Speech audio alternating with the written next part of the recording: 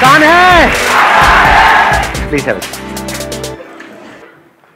बड़ा सही लगता है मेरे को एज ग्रुप जो है आप लोगों का।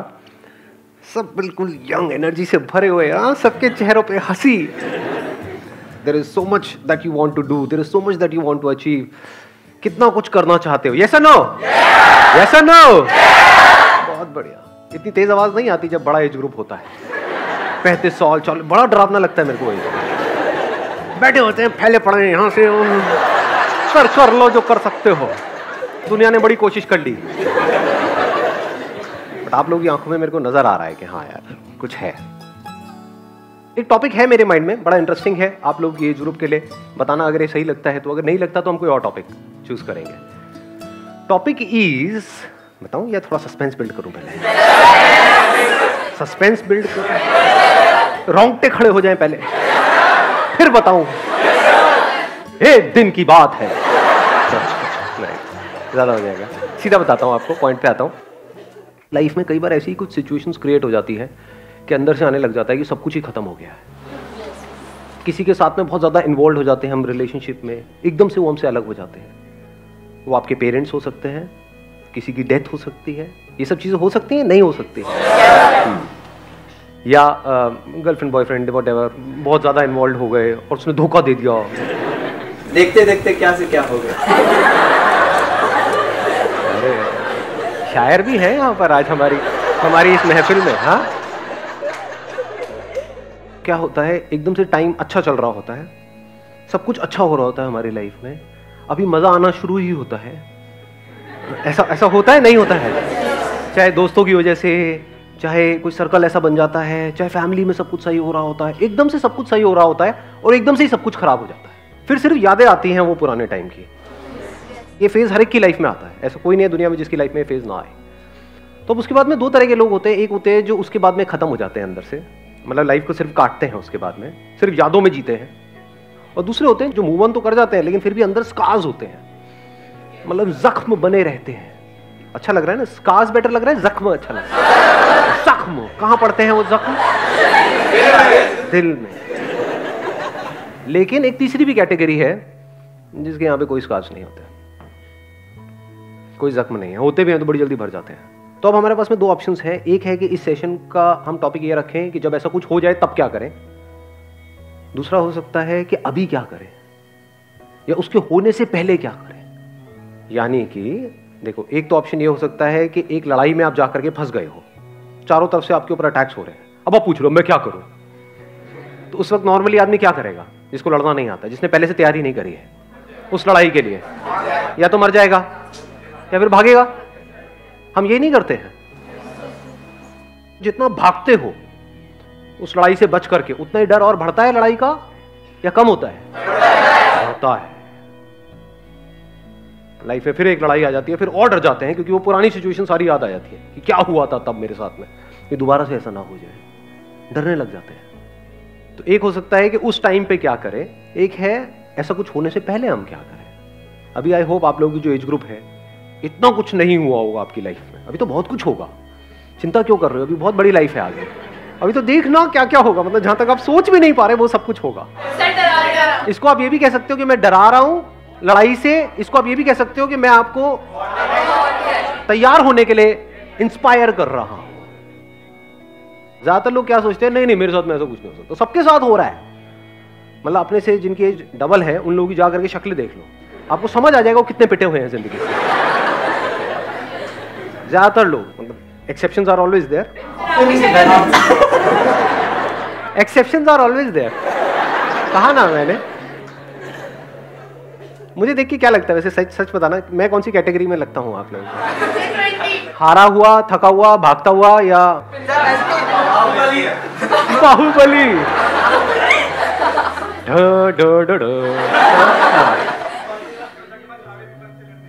जोधा अकबर क्या? मुझे जोधा बोल दिया आपने। योद्धा। योद्धा जो हमसे तैयार है लड़ने के लिए। हम्म। पता नहीं लगता कौन क्या बोल जाए भाई। पता नहीं लगता कौन मेरी बेइज्जती करते। उसके बाद उस जहर के घूट को पी करके मेरे को जीना पड़े। हर कोई तारीफ़ करने वाला नहीं होता बेइज्जती करने वाले भी ये होने सब चाहिए। ज्यादा- हाँ? हाँ होने चाहिए तभी तो बैलेंस होगा। करो मेरी बेइज्जती करो। मैं तैयार बैठा रहता हूँ। मैं तो वेट करता हूँ। क्या? काट दोगे नहीं करूँगा पक्का। भाई ने क्या बोल? माइक दो।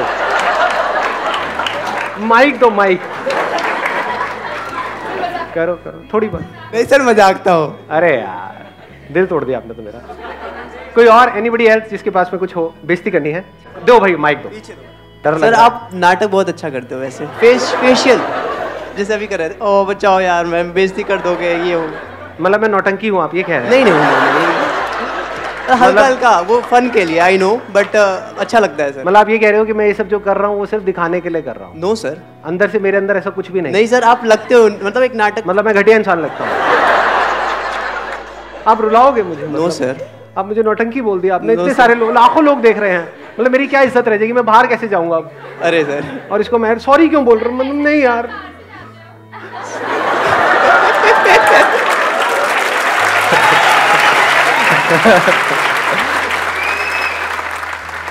तो अब हम वापस से अपने टॉपिक पे आते हैं। क्या होता है जब भी हमारी लाइफ में कुछ बहुत अच्छा हो रहा होता है तो टाइम बड़ी तेज़ी से निकल रहा होता है। जब कुछ बुरा हो रहा होता है तो एक एक सेकंड भी मुश्किल से निकलता है। जैसे जो आप चाहते हो वैसा कुछ हो जाए उस जगह पर आप हो या उस पर्सन के साथ में हो तो टाइम कितनी जल्दी निकल जाता है। पता ही नहीं लगता कितने दिन निकल गए महीने निकल गए कैसे टाइम निकल गया पता ही नहीं लगा। लेकिन अगर कुछ भी ऐसा हो रहा है जो कंफर्टेबल नहीं है आपके लिए फॉर एग्ज़ाम्पल एक एक आपने डोसा खाते हो आप लोग? Yes. हाँ तो जिस तवे पे डोसे को बनाया जाता है उस तवे पे आपको बिठा दिया जाए तो क्या होगा? कितनी जल्दी निकलेगा टाइम मतलब एक दिन दो दिन निकल जाएगा। गरम गरम तवा जिसपे डोसा बन रहा है पानी छिड़का पहले वो पानी छिड़कते हैं हल्का सा साफ़ करते हैं उसमें तेल छिड़का फिर आपको बिठा दिया। एक एक सेकंड कैसा लग रहा होगा उस टाइम पे? एक एक सेकंड भी सालों के जैसा लग पूरी पूरी ज़िंदगी के जैसा। आपको बोला सिर्फ़ दस सेकंड ओनली टेन सेकंड दस सेकंड भी काटने बहुत मुश्किल हो जाए जैसे किसी भी पर्सन के साथ में बड़ा अच्छा फील हो रहा है, एकदम से उससे अलग हुआ है। उस टाइम पे क्या होता है? आदत पड़ चुकी होती है उस पर्सन की? सुबह से रात तक उससे बात करने की, उसके साथ में टाइम स्पेंड करने की, उसको देखने की, उसको छूने की। बस इससे आगे नहीं जाएँगे। और हमें कोई भी आदत हो जाए और एकदम से उससे हमको अलग कर दिया जाए। धीरे धीरे हम खुद अलग हो तो प्रॉब्लम नहीं है। बट एकदम से हम अलग हो जाए किसी वजह से तो क्या होता है? बड़ा बुरा हाल होता है ना? एकदम से झटका लगता है, कुछ समझ नहीं आ रहा होता है क्या हो रहा है। किसी भी तरह से उसको भूलने की कोशिश करते हैं जितना भूलने की कोशिश करते हैं, उतना ही फंसते चले जाते हैं। दलदल के जैसा है ये। दलदल के बारे में सुना है आपने क्या होता है? जितना हाथ पैर मारोगे, उतना ही और धसते चले जाओगे। तो अब इसका क्या सोल्यूशन है? ये हमको सोचना है। और कब सोचना है? वो होने से पहले। मतलब उसके एंड के लिए हम उसके एंड से पहले ही तैयार हो जाए। प्रॉब्लम वो रिलेशनशिप नहीं है। जब वो अच्छा टाइम चल रहा होता है, क्या वो प्रॉब्लम है? लाइफ अगर आपकी मानो पूरी ऐसी निकल जाए। जैसे अभी हमने क्या बात करी थी, याद है ना? कि जब टाइम अच्छा चल रहा होता है तो बड़ी तेज़ी से टाइम निकल रहा होता है। साल निकल जाते हैं, ऐसा लगता है कि कुछ दिन ही हुए हैं। लगता है इतना टाइम निकल गया। पता ही नहीं लगा। सोचो, ऐसी अगर पूरी लाइफ निकल जाए तो बढ़िया है, बेकार है? बढ़िया है। या फिर लाइफ ऐसे निकलनी चाहिए कि एक एक दिन भी ऐसे निकल रहा है। अब यार। फिर बर्थडे आ गया। पूरा इन्वॉल्वमेंट ज़रूरी है। क्योंकि उस पूरे इन्वॉल्वमेंट की वजह से ही टाइम का पता नहीं लगता है। और लाइफ ऐसी ही होनी चाहिए। टाइम का पता ही ना लगे। लाइफ बह गई। तो पूरी तरह से इन्वॉल्व हो गए। ये जानते हुए इन्वॉल्व हुए कि खत्म होना ही है। इसका एंड रिज़ल्ट क्या है? दी एंड अगर इस दी एंड को दी बिगिनिंग से पहले ही आप देख लो तो कोई प्रॉब्लम नहीं है। और देख लो मतलब सिर्फ़ थियोरटिकली मत देखो एक्चुअल में देखो। Whatever is there in my life अच्छे से अच्छा बुरे से बुरा, उसका एंड रिज़ल्ट क्या है? दी एंड दिन है तो उसका एंड रिज़ल्ट क्या है? क्या हमेशा के लिए दिन रहने वाला है? नहीं, लेकिन दिन तो आपको बहुत पसंद है तो हमेशा रहना चाहिए ना। रात से आपको डर लगता है। कितनों को अंधेरे से डर लगता है?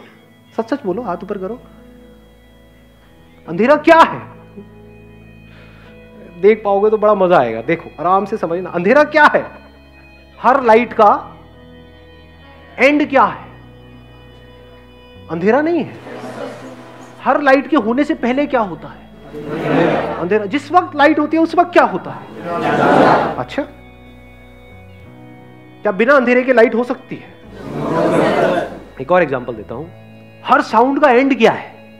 कोई भी साउंड हो कैसी भी साउंड सच को देख पा रहे हो? अगर आप दिवाली पे बम फोड़ते होगे वैसे अभी तो इस साल तो बैन था पहले फोड़े होंगे। एक है छोटी लड़ी एक है बड़ी लड़ी। बड़ी से बड़ी भी अगर लड़ी हो दस हज़ार की लड़ी हो दस हज़ार की भी दस लड़ियाँ आपने जोड़ दी एक लाख की लड़ी हो गई उसका भी एंड क्या है? हर साउंड का बिगिनिंग क्या है? कहाँ से साउंड आ रही? है जिस वक्त साउंड होती है, उस वक्त क्या होता है? आपको क्या लग रहा है? साइलेंस नहीं होता है। अगर साइलेंस ना हो तो क्या आप आवाज़ को सुन सकते हो? जैसे स्पेस ना हो तो क्या ये सब कुछ हो सकता है? ये बिल्डिंग के यहाँ पर होने से पहले यहाँ पर क्या था? आप समझ पाओगे। स्पेस था या नहीं था? खाली स्पेस जब ये बिल्डिंग टूट जाएगी कुछ सालों बाद, जब भी अभी ना टूटे तो बेटर है। कभी अर्थ हुए आएगा या कभी कुछ होगा, कुछ भी वट आने वाले 20 साल 50 साल, सौ साल बाद, जब भी ये बिल्डिंग नहीं रहेगी तो यहाँ पे क्या हो? स्पेस अभी क्या है यहाँ? बिल्डिंग है, लेकिन क्या स्पेस है या नहीं है? अगर स्पेस ना हो तो बिल्डिंग कहाँ है? तो अब आपको जड़ बता रहा हूँ आपकी लाइफ की सारी की सारी प्रॉब्लम्स की। आपकी क्या इस दुनिया के हर इंसान के जितनी भी प्रॉब्लम्स है, उसकी जड़ क्या है? जड़ ये है कि आप डार्कनेस से डरते हो। अगर अंधेरे से आपके अंदर जो डर है, वो निकल जाए। अंधेरा क्या है? एंड है ना? साइलेंस का डर निकल जाए। साइलेंस क्या है? खत्म हर रिलेशनशिप जिसको हम रिलेशनशिप बोलते हैं, उसका एंड क्या है? रिलेशनशिप किसे कहते हो? कहाँ होती है रिलेशनशिप एक है बाहर है लेकिन एक्चुअल में कहाँ इंपॉर्टेंट है? बाहर या अंदर? उसकी याद कहाँ है? अंदर है। उसके बारे में जो अच्छा बुरा सोच रहे हैं वो सब अंदर है। अच्छा फील हो रहा है वो अंदर है। फ़िज़िकल सेंसेशंस होती है ना? किसी को टच करते हैं तो सेंसेशन होती है। सेंसेशंस है थॉट्स है फीलिंग्स है इमोशंस है। क्या ये चारों चीज़ें हमेशा एक जैसी रहती है? रह सकती है।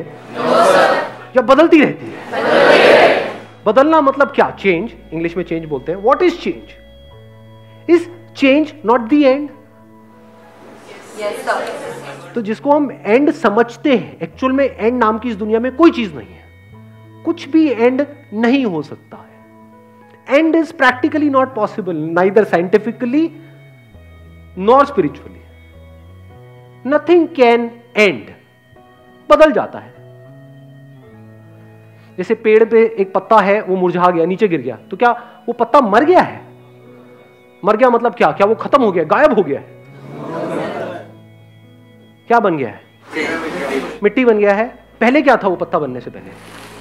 मिट्टी। अभी क्या है वो पत्ता? मिट्टी। तो एंड हम किसे कहते हैं और बिगिनिंग किसे कहते हैं? पत्ता बन गया पत्ता मिट गया। तो बनना मतलब क्या और मिटना मतलब क्या? चेंज पहले तो इस डेफिनेशन को ठीक करो। Breakup is not the end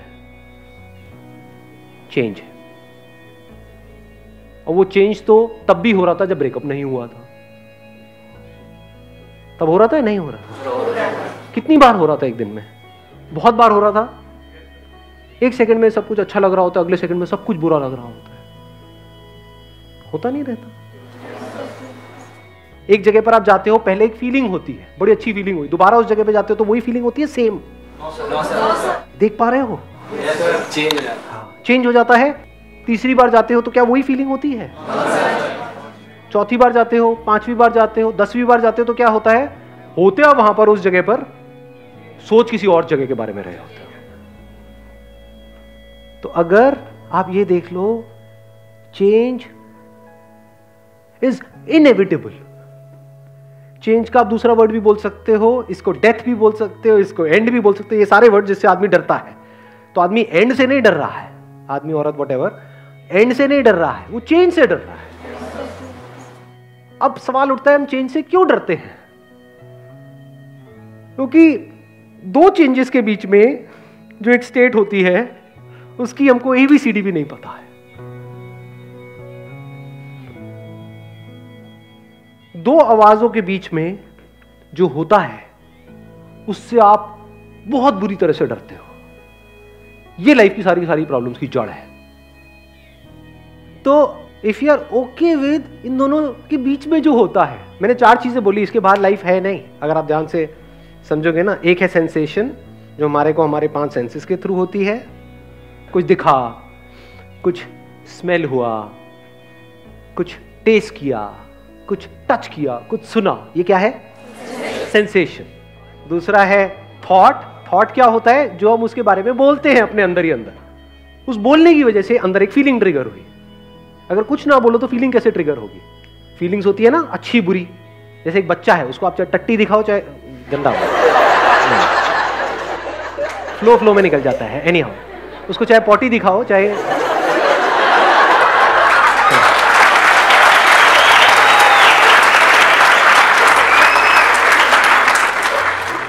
मतलब इसमें इतना मज़ा आ गया। मैं सेशन का नाम यही रख दूँ। हाँ लाइव बन जाएगी आप लोग की तो। हाँ।